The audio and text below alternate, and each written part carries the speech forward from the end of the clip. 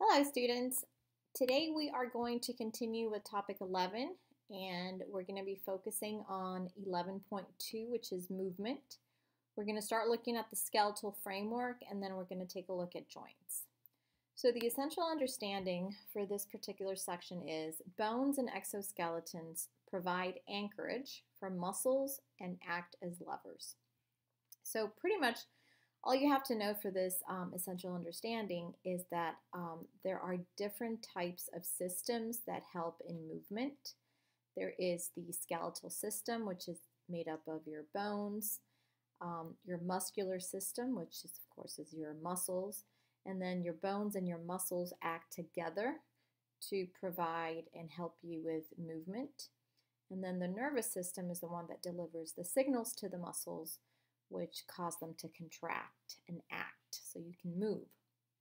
So here you see a picture of all the different body systems involved in locomotion. Another um, part of what we're going to be looking at is how the joints, which are the connections between bones, help you also in movement.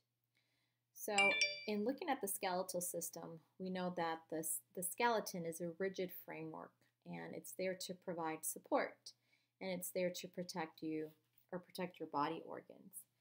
So you already know that an endoskeleton is an internal type skeleton and that's what we have. And um, here you see that our endoskeleton is made up of our bones and then how these bones are connected in these joint with, with joints.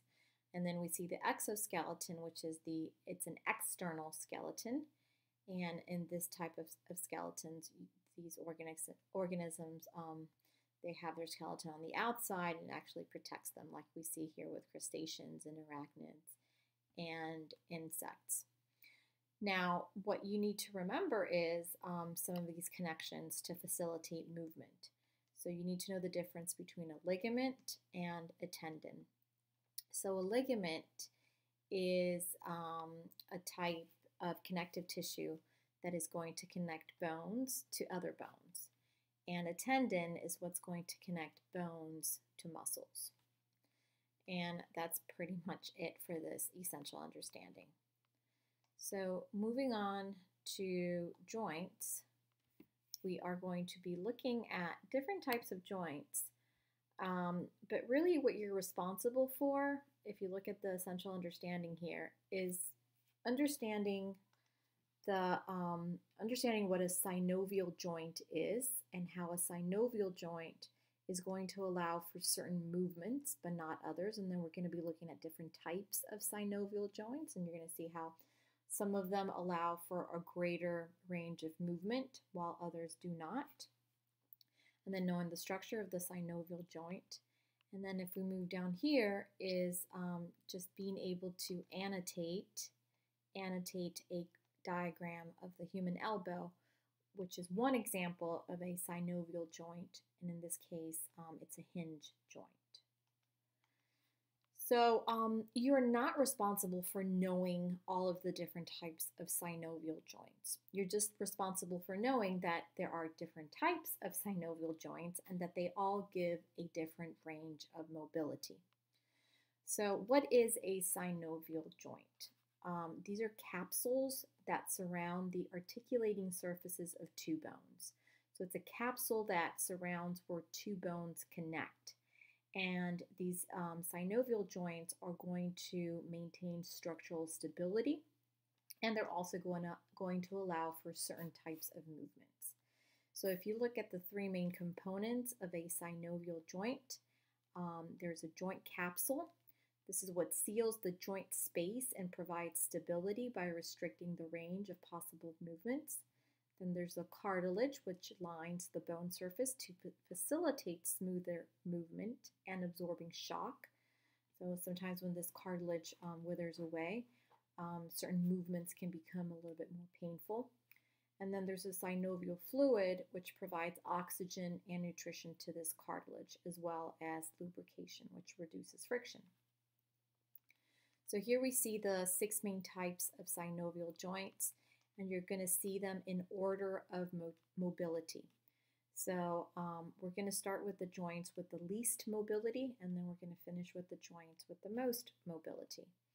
So a plane joint right here, which is found in your tarsals, which is this, this bone structure right here, um, this is going to give you a very minimal type of mobility. So if you try to look at that top part of your foot, right, there's very little movement you can do with a plane joint.